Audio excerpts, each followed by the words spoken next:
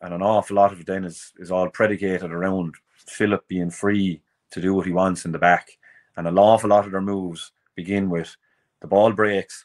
Barry Coughlan maybe holds his man, Philip picks it up, or it's flicked out to Philip. He looks up and it's pinged to somebody like Conor Sheahan or, or Andrew Hogan, and then off they go. Three lads go running, and Andrew has the choice to pick.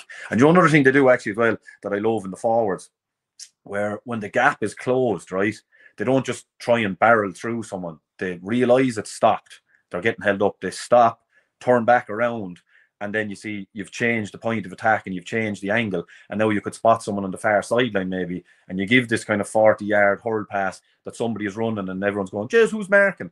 But because if you're playing half forward or midfield and looking back at that, you kind of think, right, we've held them up, we've held them up, and next thing, you know, Conor Sheahan or whoever, or somebody goes fizzing past your ear, and you go, oh, and they have this five, six yard start on you, and you can't stop them. Like so, they're just they're really good